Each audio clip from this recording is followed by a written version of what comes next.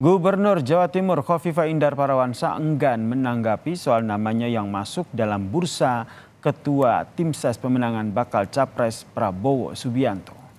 Partai Gerindra menyebut Kofifa menjadi salah satu nama yang dipertimbangkan. Namun Kofifa masih enggan berkomentar terkait dengan namanya yang kerap disebut masuk dalam bursa tim sukses Prabowo Subianto. Terkait berita yang ini Bu, tim sesnya Prabowo Bu. Ampun Bu. Ya Bu.